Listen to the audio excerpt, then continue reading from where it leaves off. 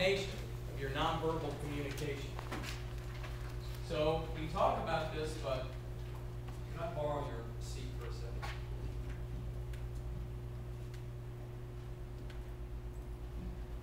Can I borrow five dollars?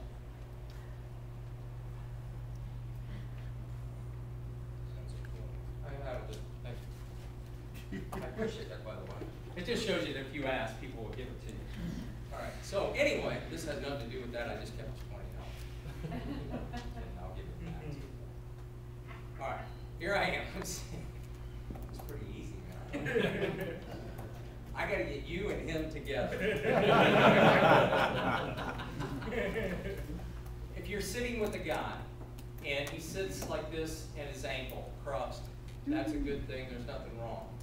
Uh, I have found that if a man communicates to you body language by turning his leg and crossing at the knee, not so good. They'll usually cross at the knee, their legs will turn towards the opening or towards the door, and they will lean back, and it's a protective, almost cocky mode. It's hard to close a man sitting like this, just my experience. What I would invite you, if you see, you come with a proposal, you're talking money, and a man is like this in negotiations, I would invite you to sit mirror image him. Talk about anything other than money. Okay? When you feel like you're making eye contact, there's a smile, there's some camaraderie, rapport, then at that point, I would invite you to take that piece of paper, your, your uh, proposal, and slowly lean up, uncross your legs, and say, Here, let's go over this. Pull your chair up, put your elbows on the desk, look at it, and wait. And if things are going well, what will now happen?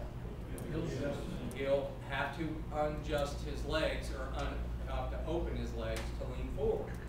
He'll mimic you and come forward at your request and feel like he's moving toward you. If you ask him and have that request and he continues to lean back after you've requested and moved, and you stare at him, what do you not do at this point? Don't talk about the numbers and do the proposal. Either getting back outside, re-showing the car, or TO it because there's something going wrong, okay?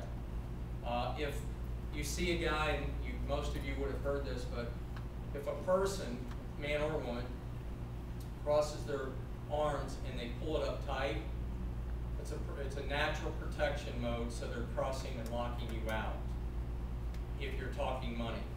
If they just are real loose, there's people that do that no matter what. That's just their normal thing, and it's just a loose thing. But you will watch people, they'll sit down, you'll, you'll get ready to give them money, and they'll cross, and they kind of pull it and hunch up their shoulders.